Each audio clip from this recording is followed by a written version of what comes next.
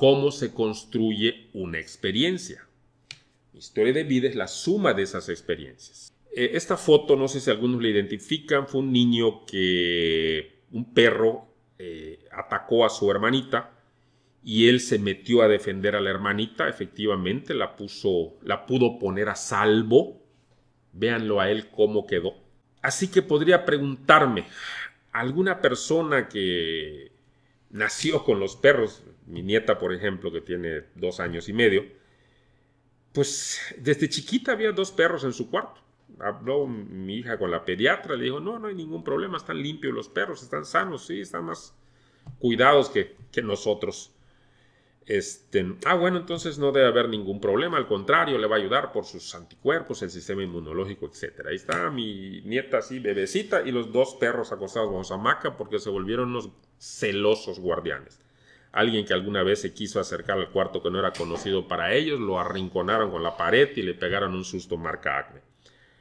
Así que una persona que crece con sus perros jugando desde nené y luego va creciendo con el perro, pues va a crear ciertos sentimientos hacia los perros y le van a encantar los perros. Y son las personas que les gusta hasta besar a los perros o dejan que el perro se suba a dormir en la cama.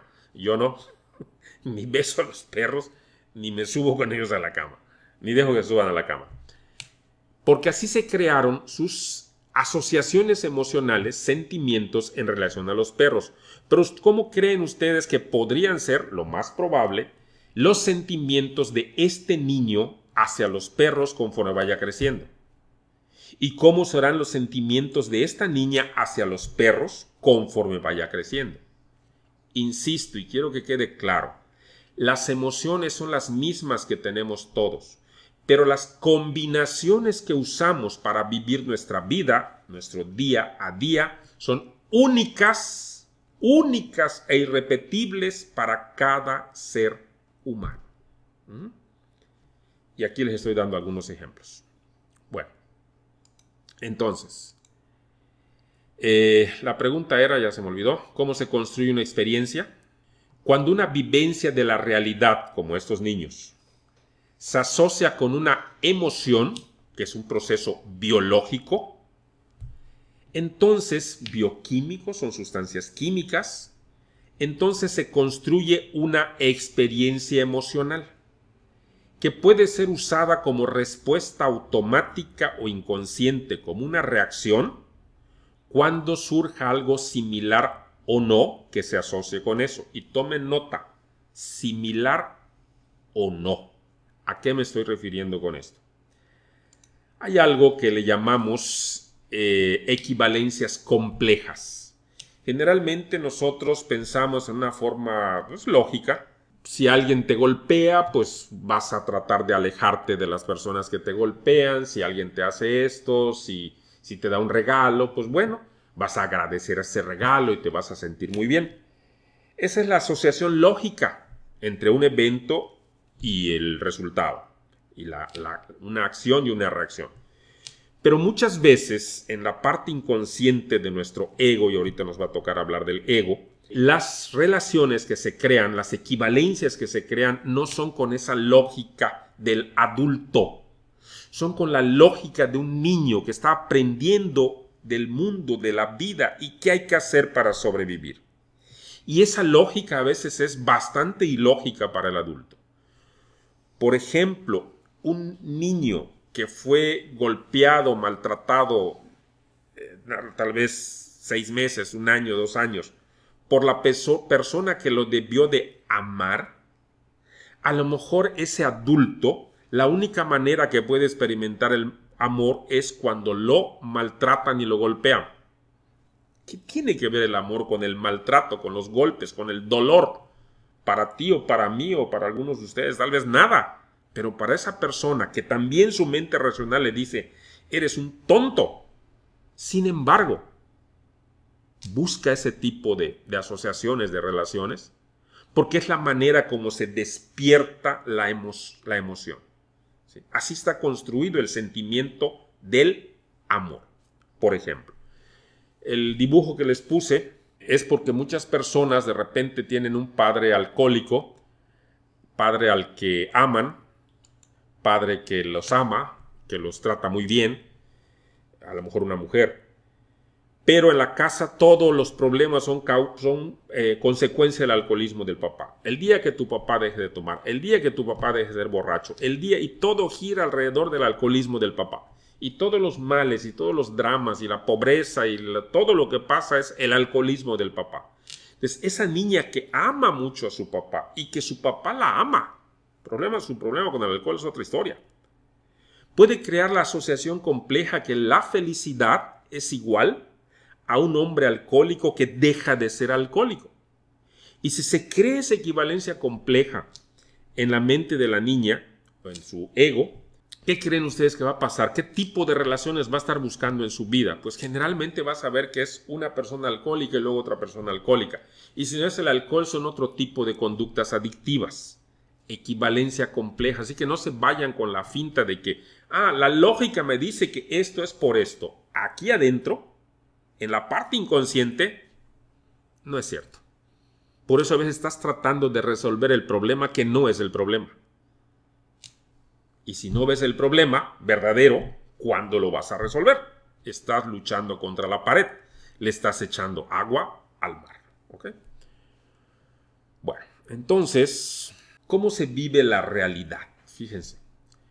Eh, tal vez en la próxima plática sobre estos temas les dé más detalles. Ahorita nada más les quiero decir rápidamente, sin meterme en bronca. Si no me creen, no me crean. Luego les doy la... se los compruebo. ¿Cómo puede nuestro cerebro ver el mundo? Nuestro cerebro no puede ver el mundo, solo se lo imagina. Se lo imagina.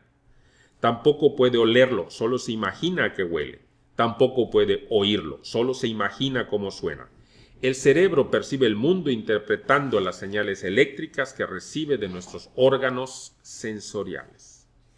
Es por esto que podemos hacerle creer al cerebro que vea, escuche, huela, saboree o sienta cosas que no están sucediendo en este momento en el mundo físico.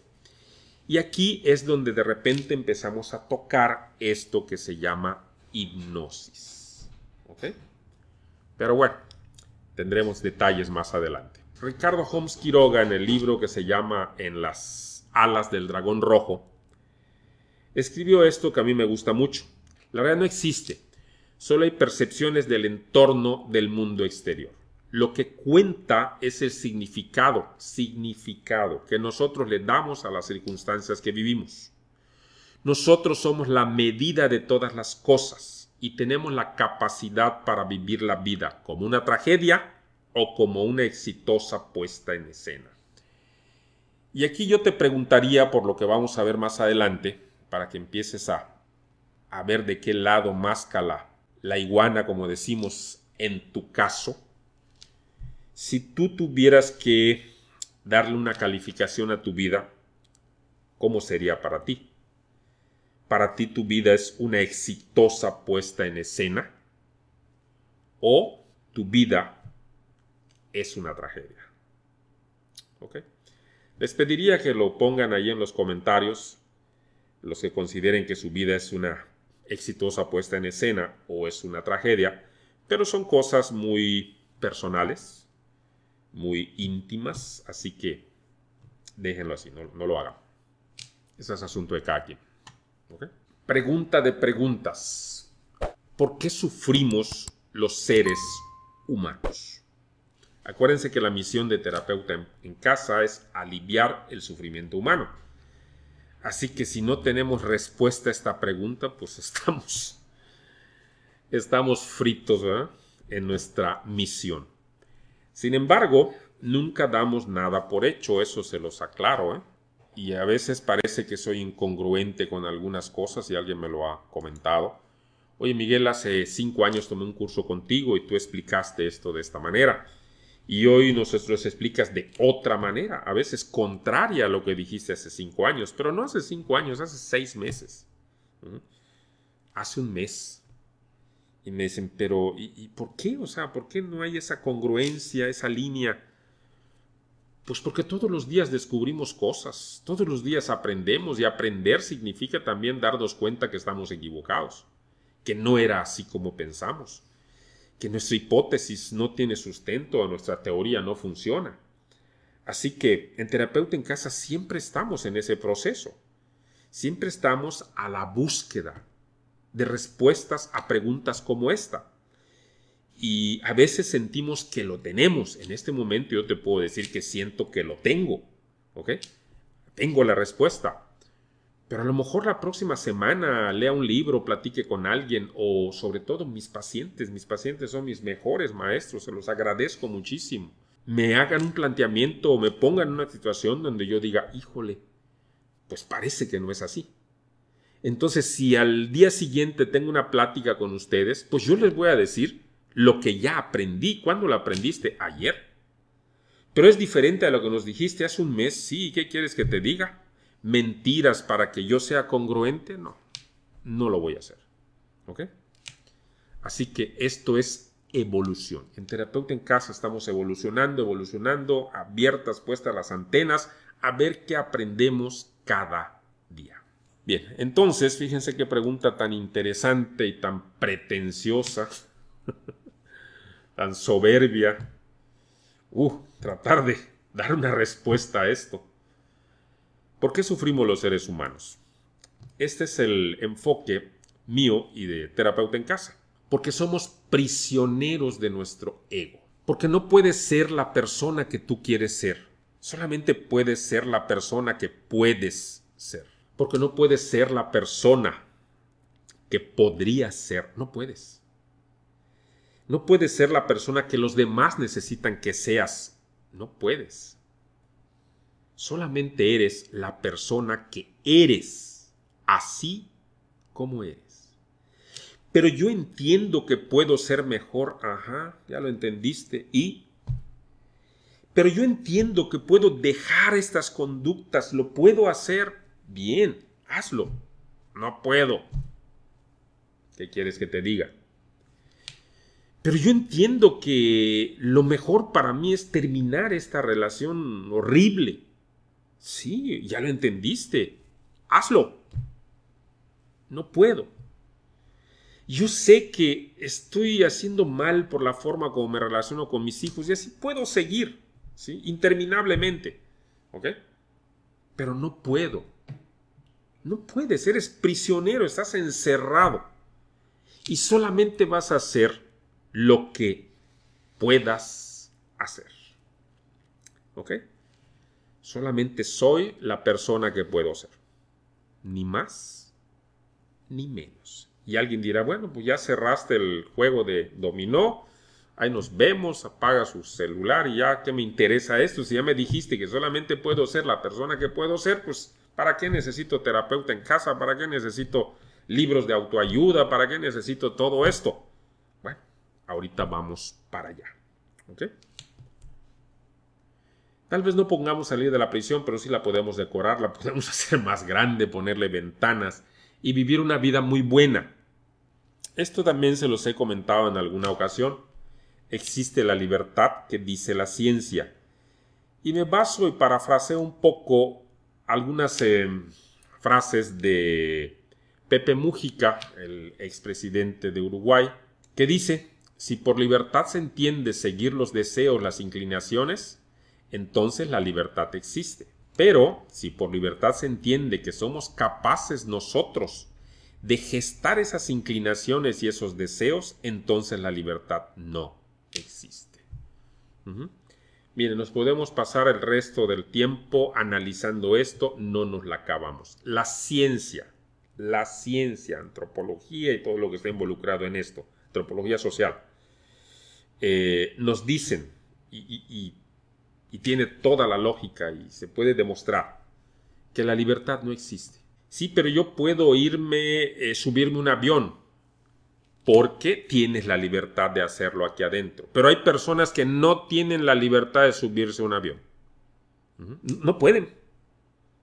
Entran en terror, en pánico. Tienen que bajar. Pero hay personas que ni siquiera tienen la libertad de subirse a un elevador. No pueden. Su prisión se lo impide.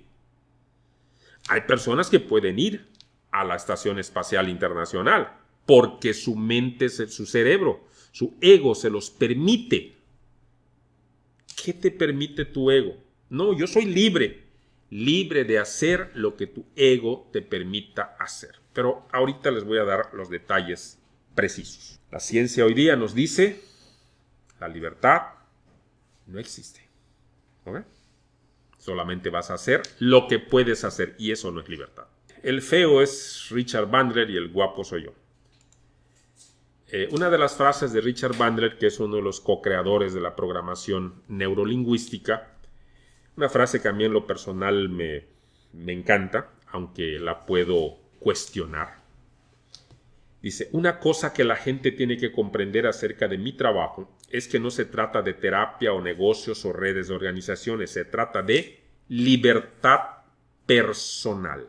Y te varía que ver qué dice Bandler sobre la libertad, ¿no? Pero para mí, para mí, la libertad personal es solamente poder cambiar los barrotes, hacer más amplio el espacio, decorar esto, ¿sí? Poder tener más opciones, pero tengo que tenerlas aquí adentro. ¿De acuerdo? Las tengo que construir. Bien.